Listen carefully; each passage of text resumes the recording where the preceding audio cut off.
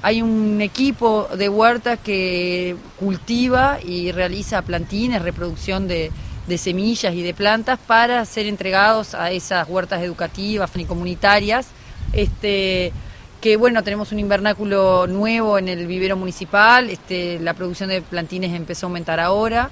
Este, a su vez se realizan entrega de herramientas necesarias como para realizar el trabajo en la huerta y este, otros insumos como pueden ser nylon para invernáculo.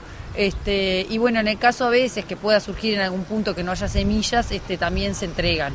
El, curso es de promotores de huertas comunitarias y educativas. Es un curso que, en el cual la Intendencia de Canelones es sede de ese curso. Trabajamos en conjunto con la Facultad de Agronomía, la Intendencia de Montevideo y justo y esta segunda etapa, porque ya esta es la segunda etapa del proyecto. El año pasado fue el primero y bueno, y esta minga de hoy de Montes se enmarca dentro de ese de, este curso que se llama Cultivar para Transformar.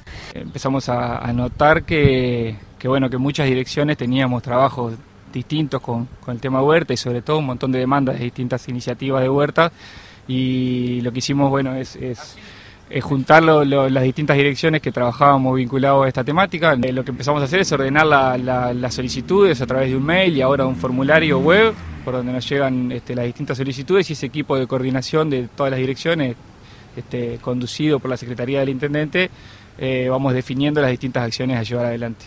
lo que interesa es que el desarrollo local lo lleva adelante la gente. Y en este caso tenemos, como decía la compañera, promotores de huertas comunitarias educativas de varios municipios de Canelones para potenciar esta, ¿no? esta señal de cómo ser, cómo cultivar para transformar. Y no es transformar al otro, sino se transforma uno transformándonos todos.